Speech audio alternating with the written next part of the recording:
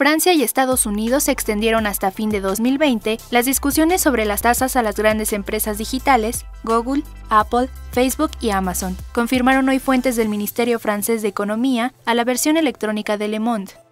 La tasa GAFA es un impuesto francés a empresas de Internet multinacionales cuyos ingresos anuales superen los 750 millones de euros a nivel mundial, el cual comienza a ser imitado en otras latitudes. El mandatario francés Emmanuel Macron reveló que tuvo una discusión fructífera con su homólogo estadounidense Donald Trump para aplazar los impuestos digitales. Gran discusión con Donald Trump sobre impuesto digital. Trabajaremos juntos en un buen acuerdo para evitar la escalada arancelaria. Trump citó lo difundido por Macron y lo calificó como excelente.